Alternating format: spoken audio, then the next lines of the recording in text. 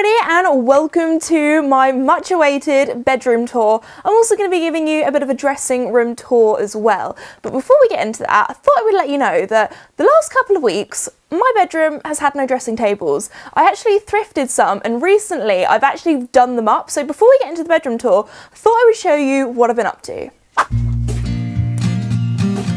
currently at my parents' um, at their kind of like workshop, work shed kind of thing, um, where these two bedside tables have been sitting in the shed since spring. It's now autumn, so I've had a whole summer of me being like, I need to get these bedside tables done. Finally, the time is here. It's time to get round to renovating them. Um, this is the before, if you couldn't tell already. I got them secondhand, um, really cheap. So and they might even be third hand, you never know with these things. Um, but you can tell they're pretty old. They need some love. There's some areas here, like this bit needs gluing back on. Um, we've got some missing like knobs. So I'm gonna take those off actually, because I'm gonna do some sanding first. I might, because there are some missing ones, just buy some new ones, which is kind of sad because they are quite pretty. But um, do you know what these give me the same sort of feeling as? I feel like they would, they would have in like a past life belonged to a princess or belonged to someone like in Paris. I don't know, that's just what it makes me feel like. Also, I know these probably won't be everyone's cup of tea. I feel like people will either, it'll be like, like a bit marmite, people either look at them and be like, oh my gosh, I see your vision, I absolutely love it, or they'll be like, Esme, why have you bought this crusty old secondhand furniture? Um, but anyway, we're all about saving money and being eco-friendly on the channel. So I'm gonna take these knobs off now and hopefully with a bit of a sand, a bit of a scrub with some water, these are gonna be looking a lot better. So we have a bit of a problem. The workbench is currently in use, so I'm gonna make my own little DIY version that I can use outside for the sanding, which when you think about it, is probably a little bit better because when I'm outside, I'm not breathing in all the dust. So let's see if this works. One plank, two plank, and then now I need to make sure that they're actually in the middle so it works. They're both not the same length, but I think that's gonna do. All right, this actually isn't as heavy as I thought. Ooh. There we go.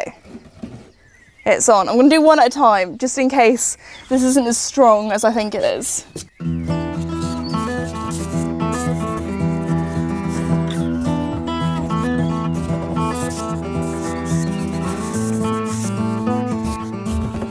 The sanding is now complete and now it's time to get into all of these little nooks and crannies on the roses here.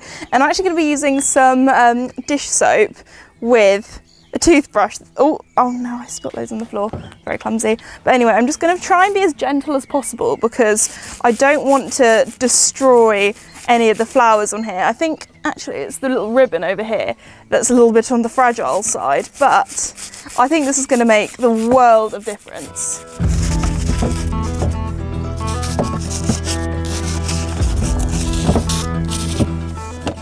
Alrighty, we have now sanded it, we've, they've now been washed.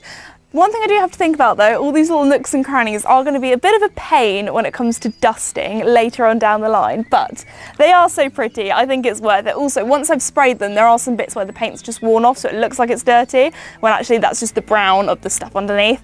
But anyway, I need to think about spraying these next because painting with a paintbrush I feel like is not going to be the one. I also need to pick what colour. I think I might just go for the plain white. Like that is boring, but it's got the prettiness. Now on the top of this particular bedside table, there are some holes, there are some gouges. I don't know, I don't know what the previous owners were doing, but on the top of here, the other one's completely fine. It was just this side. Uh, anyway, this one has quite a lot of like holes and cracks and things. So I've got some wood filler here and I'm just going to very gently fill in these bits here. Oh yeah. Same chest of drawers, again, don't know what the previous owners were doing, but this one got way more abuse. Um, you can see here that the moulding on the ribbon is just sticking out a little bit, so I'm going to be using some super glue, and then I'm just going to like tape it over the top, so hopefully that fixes the problem. Alright, so I'm going to be back in half an hour once that has dried, that has dried, I've given it a sand, and then it will be spraying time, which I feel like is going to be the most satisfying part. we finally got to the stage in the cottage renovation series where I'm not using a screwdriver, I'm finally using a proper paint stirrer, but um, I'm gonna have to make sure this is right at the bottom because I am notorious in my family for being the messy, clumsy person and I don't want to get paint all over me, so let's give it a go.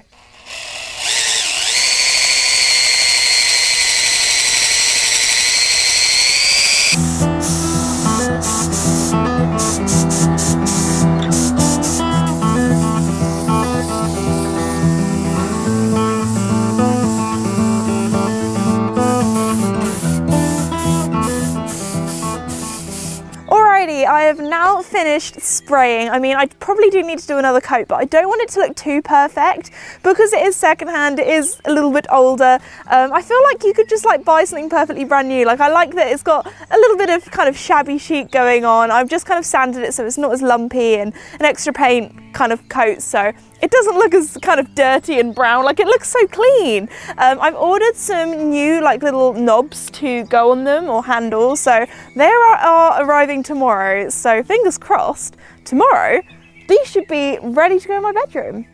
Here they are, they're finished, coming up the stairs. Oh, okay, please don't fall over, Esme. There we go. Oh, could have died then.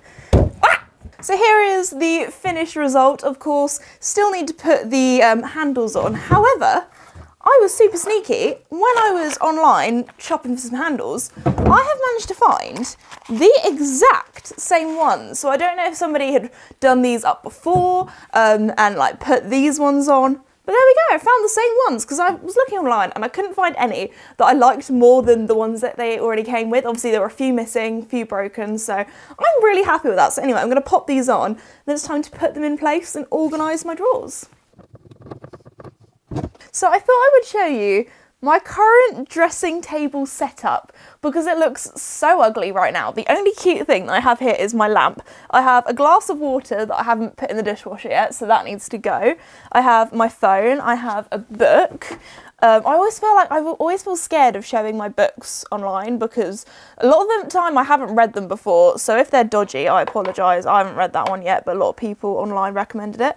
Um, I have some hair ties because I like to have my hair like in a side ponytail or little bunchies when I'm asleep.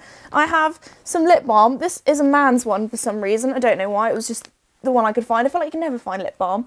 Um, I also have, this looks really dodgy. If you're wondering what this is, it's actually a pen for your nails, like a nail oil pen, um, because I get really dry cuticles. So before I go to bed, I try and basically, if I, um, what's it called, have something by my bed, I'm more likely to do it. If not, I just too lazy to get out of bed. Oh, I thought I would show you my rabbit. This is my childhood rabbit that I've literally had since I was a baby. If you couldn't tell, she's um, got some stuffing distribution issues. she's a little bit um, empty at the top.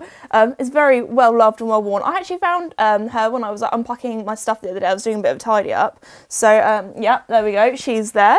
I've got um, little my little Jellycat um, cuddly toy as well. I got my remotes, which all of this stuff would normally be in like a chest of drawers, like bedside table, like in the drawer, so you can't see it, you know, hanging about. But at the moment, it looks really messy. Um, this also looks a bit suspect. I have some moisturiser because I am a very dry person. Like I just have, this is not sounding better. I just get really dry legs like dry hands like in the winter like i i'm a dry skin person so again if it's by my bed and also because it's a pump, I'm more likely to remember to put it on.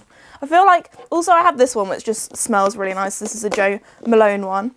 And this is what I'll put on like if I'm going out and I want to like smell nice. Like some, this is so scented, you could probably put this on like almost as perfume, but also has that moisturisation. I have a little Jo Malone candle as well. I haven't actually lit yet. Oh, it's a bit dusty as well. Need to do some cleaning. I have a box tissues, self-explanatory. Um, I have a fake plant just because I feel like a real plant by my bed feels a bit weird. Like some plants I feel like you shouldn't have in your bedroom in case you breathe in like their gases and stuff. I don't know if that's a thing or if it's like a myth, but I have a fake plant. The rest of my plants are real. I'm a real plant kind of gal. And then there we go. I've almost pretty much emptied my, um, oh gosh, you can tell I, I this is, I'm very sorry about how, how dirty my table is. Normally I'm a very clean person, but I feel like it's just had so much stuff on it. All right, I'm ready to move this table out of the way. You are done. You are gone. Beep, beep, beep, beep, beep, beep, beep, beep. Ah! Beep, beep, beep, beep. Beep, beep, beep, beep, beep, beep. Alrighty, this is what it's looking like at the moment. I feel like I've done lots of toing and throwing of either side, trying to decide where it looks best, but I think in the centre is good. I could move my bed over, but I quite like that there's a bit of space here for me to walk into my dressing room and everything. But yeah, it's looking good.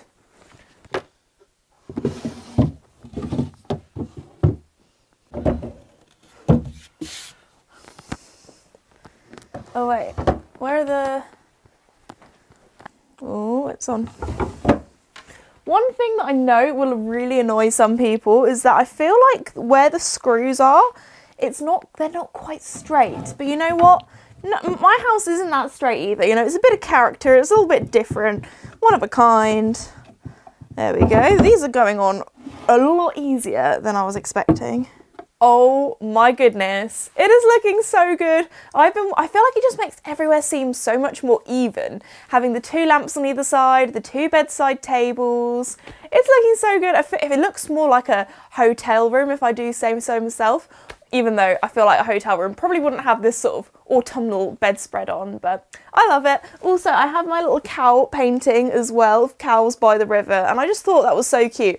Also, almost all of my artwork is either stuff that I've like thrifted or also stuff that I found like on Etsy for really affordable prices that is like one of a kind. Like this is a proper like oil painting. I feel bad that I just touched it then, but like original, all that kind of stuff, which is very cool. So I would recommend having a little look on there if you're looking for artwork.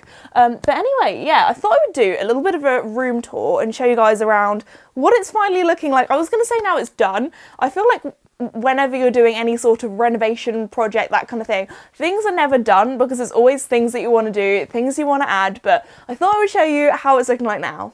Alrighty, before we enter in, the first thing that I'd talk about that's very different are the doors. I will actually leave a link at the end of this video to the playlist of the cottage renovation series. So if you're new to the channel and want to see the progress that we've made and all the other videos of what I've been up to with the cottage, you can go and watch that. But if you have been watching the series, no spoilers, don't worry, it's fine. there's, there's been a lot. but anyway, um, you will know that this door had frosted glass, which was just a bit nasty. It was giving grandma. It wasn't sort of what I was going for. So we put like new wood in and hopefully it kind of blends quite well, you could say with the door. We've um, repainted the handles, but anyway, come in, come in. Alrighty, if you walk on in, I'm just going to shut this door so you cannot see the chaos that is behind. This is the tidy room, let's look at this one. Um, so anyway, we have my chest of drawers on a TV. If it doesn't, if anything actually in this room doesn't look quite straight, that's because the house is a little bit wonky. It's got character, it's fine. Um, I have some dried flowers in an old vase, got my little jelly cat, chest of drawers, said before. Um, this actually is a washing basket and it's very useful because it has three different sections so you can, you know, section out your laundry.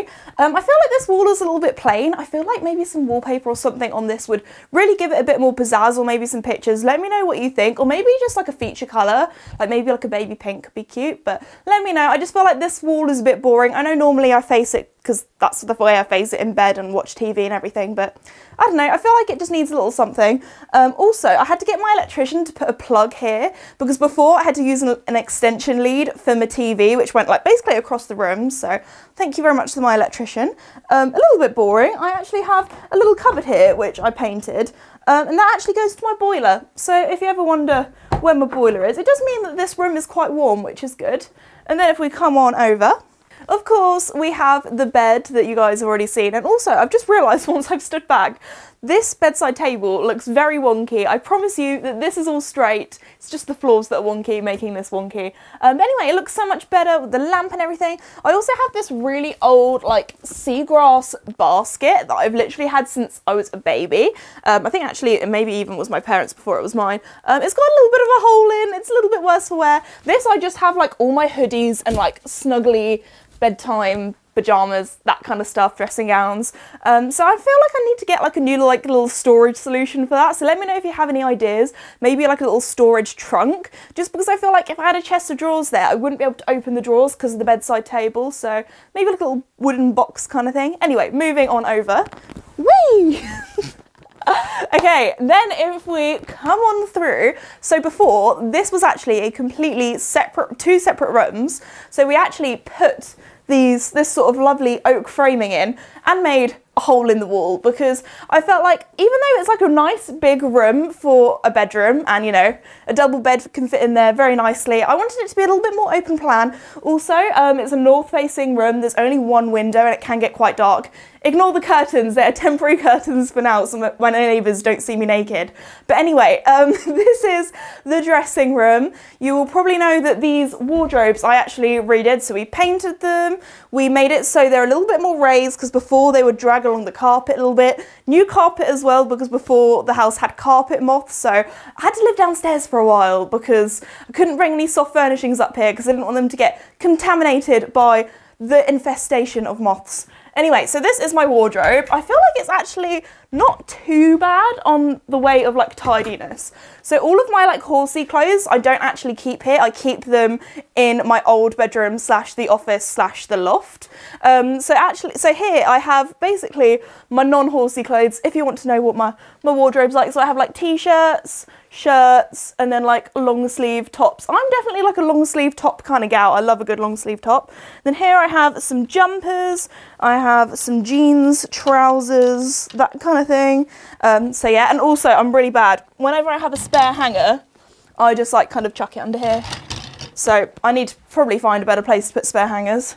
And then in this one here, it's a little bit more on the messy side. That's because um, basically I have all my dresses that hang down and the other day that pole fell down in the middle of the night, scared me, the living daylights out of me and then I have like um, blazers and jackets and that kind of thing down here and like some ju more jumpers and stuff but it just looks a bit messy. I need to reorganize that but at least the pole is back up. It's not falling down. This wardrobe is probably my favorite and that's because it's got all of my like handbags and shoes in or not all of them. You'll see in a sec. I've got another shoe collection. Some of these shoes I probably need to sell because I feel like I've kind of outgrown them as in like I've gone from a teenager to in my 20s and I feel like there are just some things I feel like I wouldn't really wear as much now or get as as much use out of. Um, down here I have my Fairfax and Favor handbag collection. As you can see, Fairfax and Favor are very generous sponsors. There's quite a lot down here. I have some like heels up here and then some like extra like shoes and bits down there. And then this cupboard here, I'm not even going to show you. This is the mess cupboard. I feel like everyone needs a mess cupboard in their life. If something doesn't have a place yet, that's where it goes. If I lose something and I need to find it, I'll probably look in here. So there we go, not looking at that today. A lot of my furniture I did get secondhand. However, the one thing I really struggled to find was a dressing table. So this one I did splash out a little bit more and buy brand new, and this is from the Cotswold Company. But um, something I did do to make it seem a little bit more oldie-woldy to go with the 100-year-old cottage is that I bought a secondhand vintage mirror, and I feel like this mirror is just so pretty. I know it's not going to be to everyone's taste, but when I look at it, it just it makes me feel like I'm a princess, like in the morning. Um, also, I love this room because it goes out to my garden and I can see all the woods at the back of my house. It's also south facing as well, so it means that I get all the natural light in the morning. The only thing I would say about this dressing table is that the drawers aren't very big, like you can't fit a lot of stuff in. So um, I also purchased a bedside table to put next to it and that's kind of like my makeup drawers that I have over here. I also have an old trug that I thrifted, thrifted as well. I want to put like some dried flowers or something in here, or just like little trinkets, I don't know, bits and bobs, but at the moment it just kind of sits on there as decoration. I have my makeup brushes in an old little pot as well, which I feel like goes well too. Um, also thrifted this really old um, candlestick holder and then just have some, obviously not thrifted candles. I feel like buying candles secondhand is not really like a thing. I feel like people just use their candles, like that kind of thing, do you know what I mean? Um, I have a plant, I have some dried flowers. I have a little pumpkin here um, at the moment because I am filming this in October, so it's a little bit more festive up here. I also have this um, jewellery box as well that you can stack. So if I do get more jewellery, I can buy more boxes to make it bigger. But I've just got two little bits at the moment. Um, but yeah, this is pretty much my dressing table. Also, if I ever go live, this is normally where I'm doing it, with my makeup station, doing my makeup, that kind of thing. So I really should do more lives. Let me know if you'd like me to do some more, because the last one I really enjoyed. Something that I can't believe I haven't mentioned yet, but when I was sort of proper renovating, doing up the cottage, not just, you know, decorating things and making it pretty. Um, these structural beams we actually had to put in. I can't remember if there wasn't one here, if it just wasn't in the right place. Somebody had moved the beams around to like probably fit a bed in or stuff like that. So um, one task I've had is to put some new beams in. So this is lovely oak. I think before there was some like softwood here. So um, we had to make basically make the house structurally sound so it wouldn't fall down. Again with the other beam as well in the main bedroom. Um, also, that's given me the task of trying to fit things around the beams. Like I love the character because it's an old cottage, but it also does make things a little bit more on the tricky side when fitting furniture in. So I have, this is probably my favourite chest of drawers, just because it has, it has little thistles on the handles and with the brass, and I just think it looks so pretty. Um, also, right in the corner, I made myself a little shoe rack, and that has some of my Fairfax and Favor boots. I've got trainers, heels, that kind of thing. So um, it's starting to overflow as well. So I'm gonna have to think of another solution for all my boots, but that is them there at the moment. I've also added some little trinkets, things like that. I've got some more jewellery in here, which I should probably put in my jewellery organiser. Got a candle, diffuser. I have this old kind of painting as well, which I just thought the colours were so pretty. I really like the frame. I think the frame was my favourite part. But um, there's also like some chickens and a cow there, like love my animals. Um, I got some fake flowers as well in a little um, jug. Also got my perfume. This is like my one expensive like designer kind of perfume um, that I, I always buy my perfume when I travel for work, when I go through duty free because it's a bit cheaper. But um, if you want to know what I smell like, it is this one. Um, and then uh, we come round to my mirror. So this mirror is absolutely huge and I thought with my job I do a lot of outfit picks so I wanted to kind of go all out with my mirror. I love how it looks kind of old with the detailing. It's not like a boring mirror, it's a little bit more out there. Um, I also have like a little hat here as well which is kind of like a kind of you know when your gal's dressed up for horse shows, that kind of thing hat, which I'd quite like to hang on the back door here. Obviously, th this used to be two bedrooms, so this used to be the entrance, but it's not used as an entrance anymore, so I feel like I could probably decorate the door a little bit so it blends in more. But I feel like the way I've, you know, put the mirror and put this, it's actually like a little, um, little bench, but if you lift it up, it's got loads of storage, so I can put like my winter coats and things like that in here. Um, I've also added some colourful cushions as well, just to add a little bit more colour in here because it is quite neutral and I am definitely more of like a colourful person. Although, again, this is a dressing room, I didn't want it to be too colourful because when I'm styling on outfits, that kind of thing, I don't want the background or anything to clash or affect how colours look when I'm wearing them, if that makes sense. That's why I went for very neutral kind of um, the back doors there for my um, wardrobe. Also, in this little box here, I have all of my like styling tools for my hair. I feel like that's the one thing that just feels really messy when it's out and about. So that's all hidden in a little wicker basket. Obviously, I don't put my hair straighteners in a wicker basket that's very flammable when they are still hot. Don't worry, I'm not that silly. Um, also, this is probably one of my favourite paintings I have. Again, it's an oil painting. I feel like I prefer oil paintings to watercolours.